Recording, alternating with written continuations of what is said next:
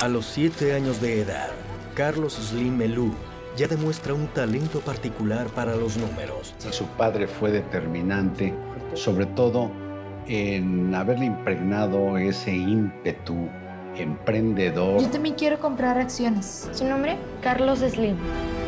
Se inicia como inversionista, fue su don de eh, negociador y de comprador y de empresario. Carso, Carlos Soumaya.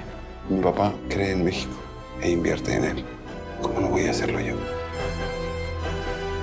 Años más tarde, Slim llega al lugar más alto del mundo de los negocios, al puesto número uno de las fortunas del mundo entero.